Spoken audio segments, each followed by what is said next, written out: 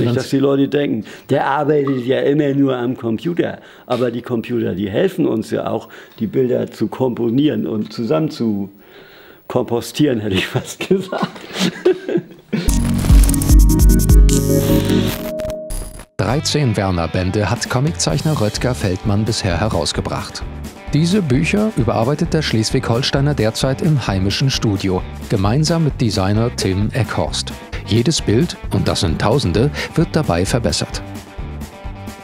Zack, und schon ist der Schatten da. Und so packt man sich, schiebt man sich das hin, bis das schön ist. Ne? Nicht, dass man denkt, das ist jetzt ein Computerschatten. Den Schatten habe ich auch irgendwann mal selbst gezeichnet. Ne? Alles, was hier drin ist, ist auch mit der Hand gezeichnet worden. Allein mal die Titel können wir jetzt schon mal angucken. Da ist der Werner, da ist jetzt die Schrift, da sind die Effekte vor Werner, da passiert ein bisschen was.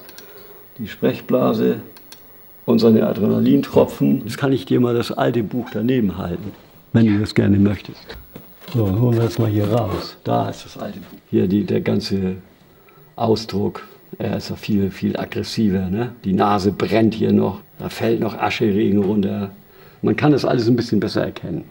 Man achte jetzt hier auf diesen Pümpel. Zum Beispiel, dass das hervorgehoben wird und Werner, wie er sich freut und so, das, das kann man alles viel besser erkennen jetzt. Zack, da ist ja viel, viel mehr Elan drin in dem Bild. Und auch die Hintergründe sind schöner und alles. Ich kann, soll ich nochmal wechseln? Ja. So kann man mal sehen, dass da viel Arbeit drin steckt. Mit viel Sorgfalt werden Details hinzugefügt und Farben korrigiert. Ich bin hier derjenige, der dafür sorgt, dass das Ganze auch druckbar ist. Das heißt, ich baue das hier in InDesign einmal zu einem Gesamtlayout zusammen für die Druckerei. Tim Eckhorst hat Design studiert und schon als Kind begeistert Werner Comics gelesen. Und man hätte natürlich nicht unbedingt gedacht, dass man irgendwann tatsächlich in diesen Werner-Büchern mal rumwuselt, in welcher Form auch immer. Also das ist jetzt schon extrem spannend, weil man es irgendwie nochmal so durch die Kindheit und durch die Jugend nochmal, als wenn man da nochmal durchzieht und da nochmal selber drin rumwühlen darf und äh, so in diesen Schatzkisten nochmal quasi den Hintergrund entdecken kann. Und also mehr geht eigentlich nicht, ne? Röttgers Ehefrau Petra ist Verlegerin der Bücher und liest sie außerdem Korrektur. Wie ist es, den eigenen Ehemann zu verlegen?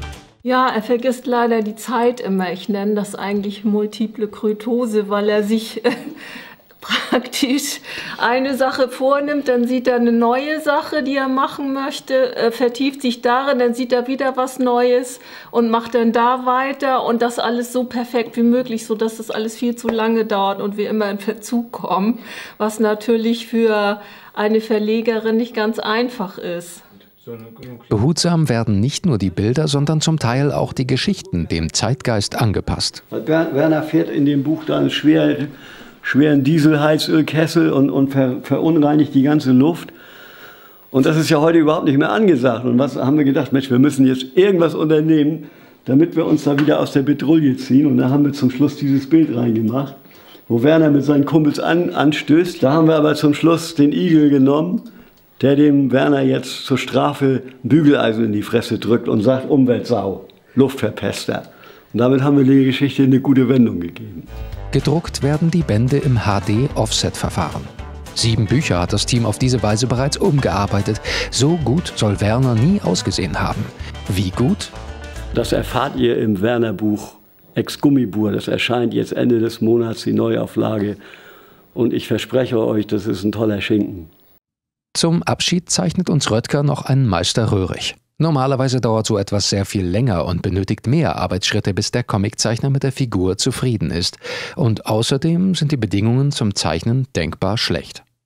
Also zum Zeichnen brauche ich absolute Ruhe. Wenn einer dabei ist und mir da über die Schulter guckt, dann wird das sowieso nichts. Dafür ist die Zeichnung aber ziemlich gut geworden. Die ist gut, ne?